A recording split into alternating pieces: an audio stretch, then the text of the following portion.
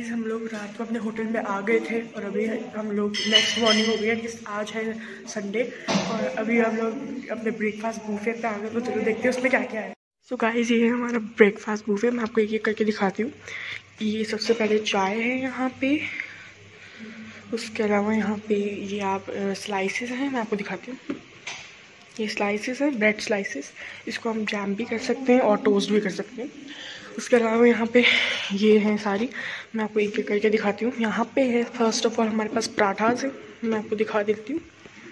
ये देखिए, यहाँ पे ज़्यादा लोग हैं नहीं स्पेशली बिकॉज़ साढ़े सात बजे से लेके दस बजे तक का है टाइम ये जो है ऑमलेट है। ये आलू की तरकारी है।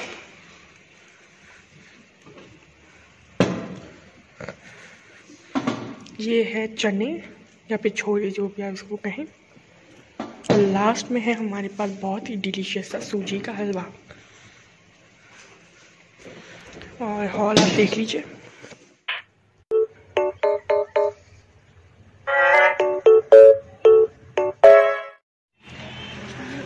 सो so गाइस, अब हम लोग भावलपुर पहुँच चुके हैं। सुबह ही आ गए थे बट मैं व्लॉग करना भूल गई थी।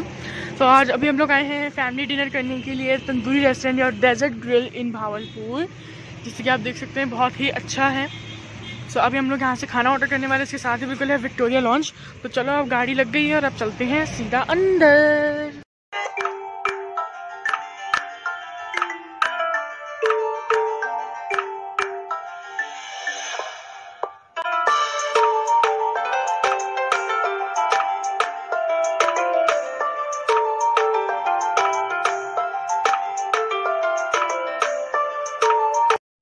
सो अभी यहाँ पे आ गया है सूप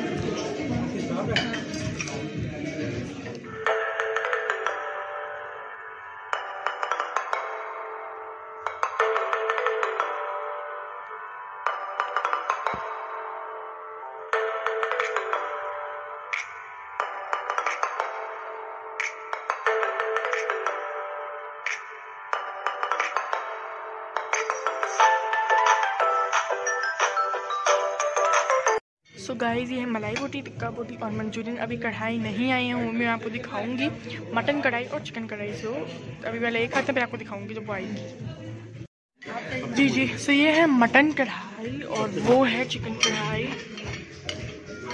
वो आपको नज़र नहीं आ रही क्योंकि वो उसको साइड पर रखी है। तो मैं आपसे खाती हूँ, मुझे बहुत भूख लग रही है गाइस तो मैं आपसे मिलती हूँ। खाना पेश करने के बाद, घर जाने के बाद।